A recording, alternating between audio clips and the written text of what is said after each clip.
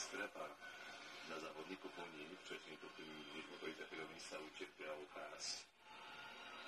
Teraz widzę Kysela.